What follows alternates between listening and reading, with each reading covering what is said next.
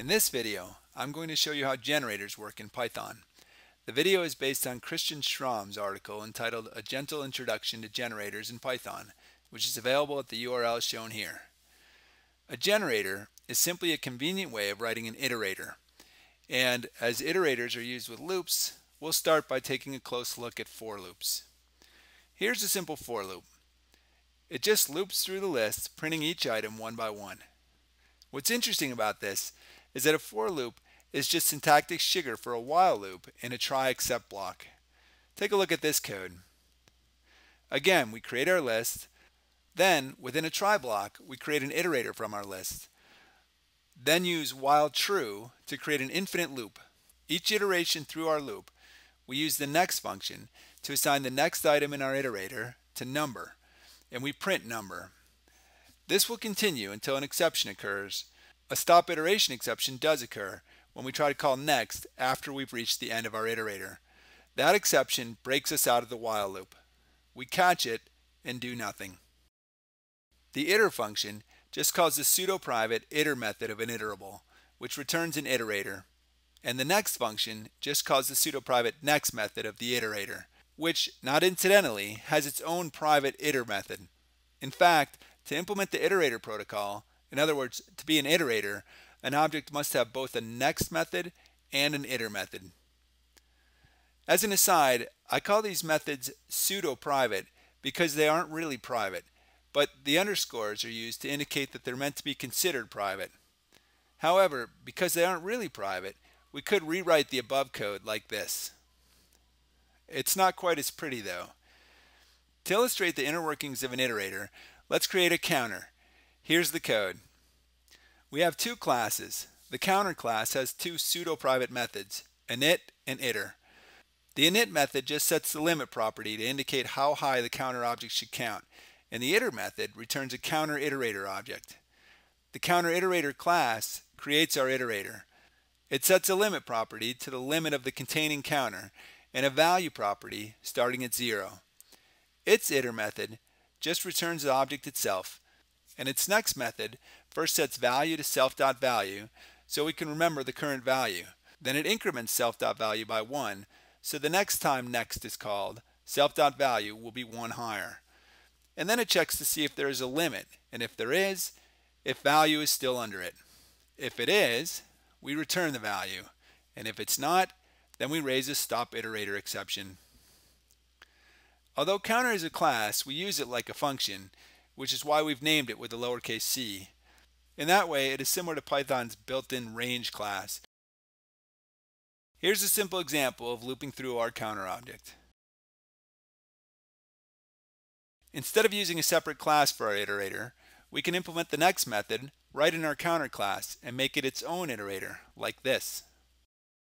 There is a small difference though. In the first example, every time we called on it to iterate, it created a new counter iterator object with the initial value set to 0.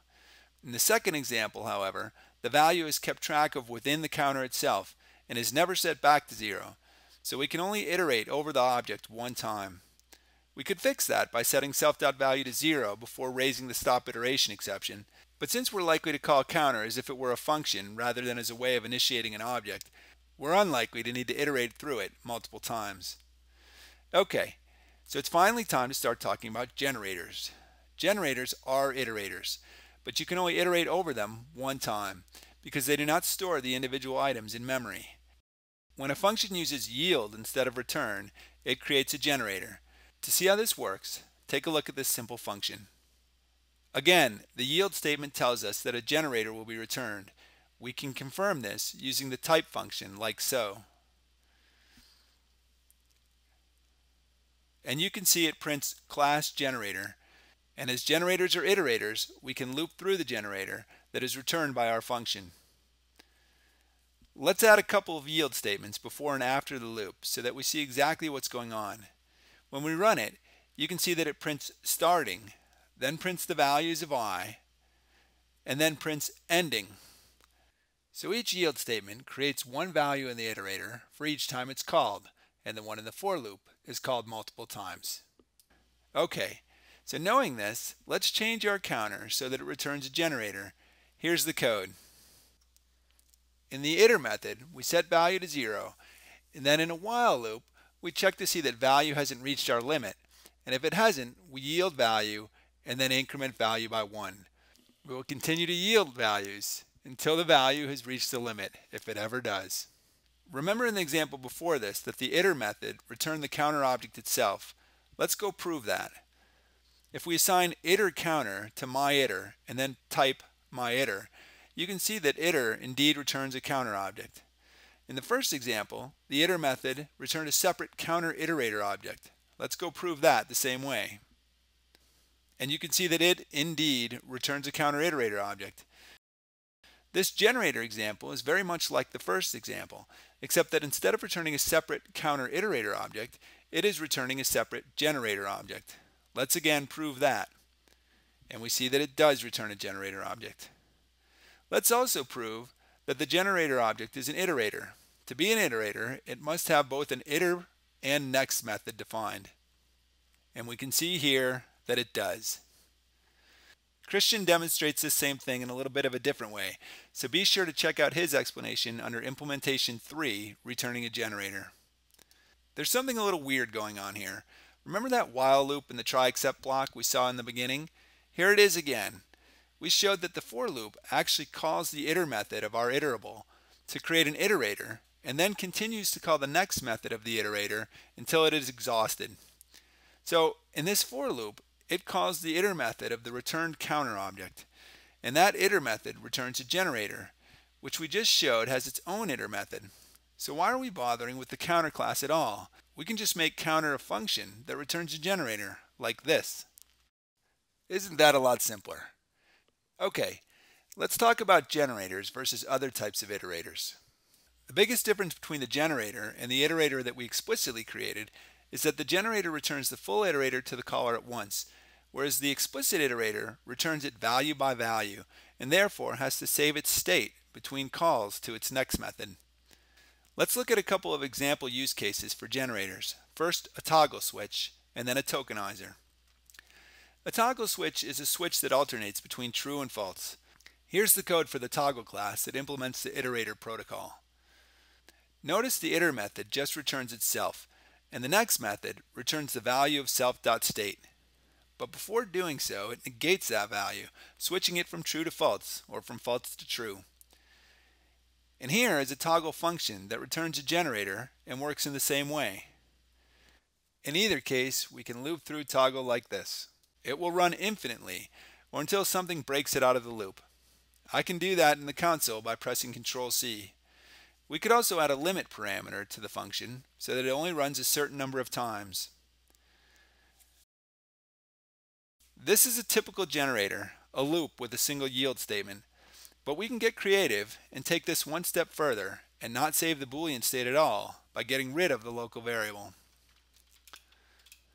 The only difference here is that if you do have a limit, this one will always return an even number of results.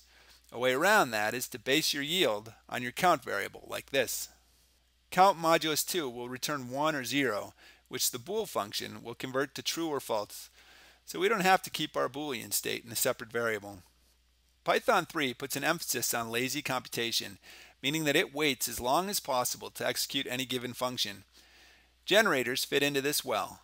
They save you from creating an iterator up front and then looping through it, which also saves memory.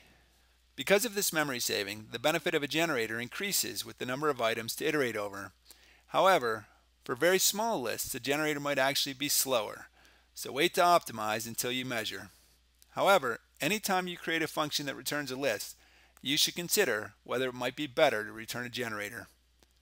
Another use case for a generator is a tokenizer, which takes a potentially very large string and breaks it up into tokens. Because the string is potentially large, a tokenizer would benefit from the lazy computation approach. We'll take a look at two different ways of implementing a tokenizer. The first will return a list, and the second will return a generator.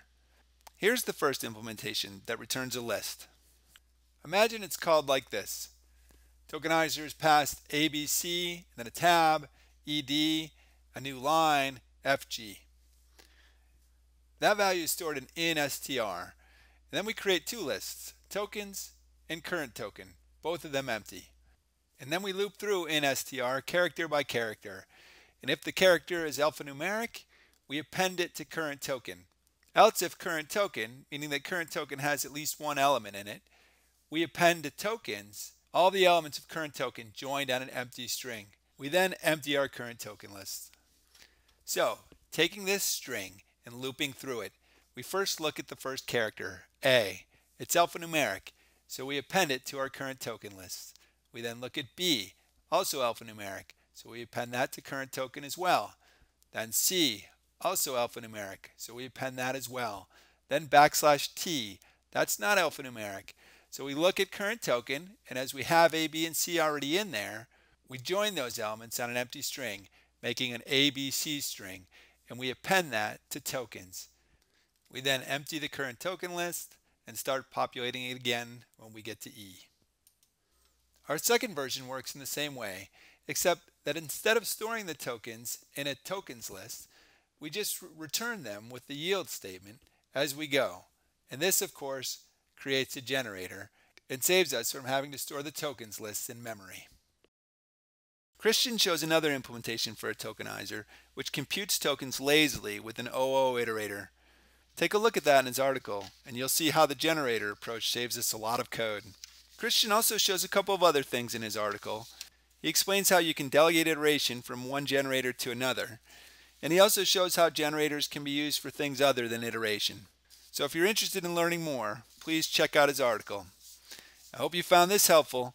Thanks to Christian for letting us use his post as a basis for this video.